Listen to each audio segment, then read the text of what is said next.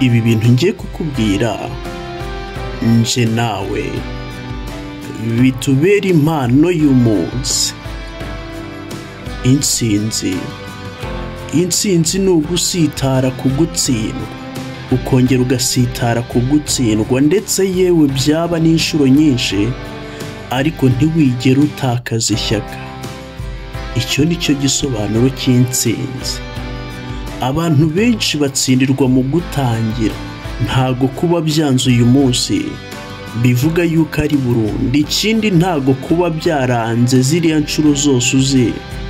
Bica umurongo wo kugushyira mu batsinzwe. Umunsi umwe nicaye. Mwarimu yarambwiye ati mwana muto ahazaza hawe hashobora kuzaba heza bigoranye cyangwa se byoroshye. Gusa impano iruta izindi numva nshaka kuguha. Uzibuka aya magambo ngiye kukubwira musore muto. Umunyentsinzi ni umunyenzozi utajya ucika intege. Genda uzamenye ko muri ubu buzima umuhanga ari umenya igihe gikwiye cyo kuva ku byanze agatangira ibishya akiruka ku nzozi ze. Mu buryo kandi burenze bumwe. Genda ishyamba ni rigari twese twarihigiramo. Ibyishimo. Ibyishimo ntabwo ari ikintu kiri aho cyamaze gukorwa. Ibyishimo bituruka mu bikorwa byawe ubwawe.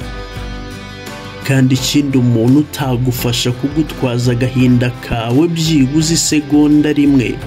Ntuzigere umwemerera ko agutwara ibyishimo byawe kabone n'ubwo ryaba isegonda rimwe. Ntago wibeshye wumvise neza ndavuze nti umuntu utagutwaza agahinda kawe byibuze isegonda rimwe ntazigera anagutwara ibyishimo byawe. Igihe kingana n'isegonda rimwe.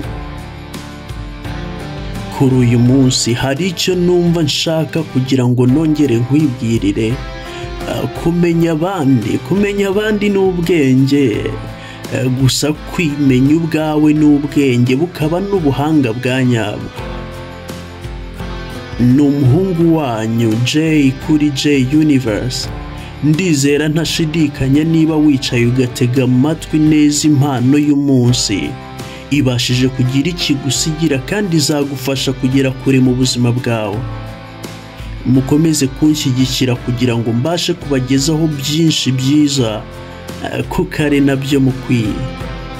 Ubaye utarakora subscribe kanda aho hasi ku ijambo ritukura subscribe sangiza abandi impano y'umunsi ndetse wibuke likes comments na byo ni iby'ingenzi wankurikira kandi ku mbuga zanjye nkoranyambaga zitandukanye ari zo whatsapp instagram facebook ndetse n'ahandi hatandukanye nzagenda mbamenyesha. See you tomorrow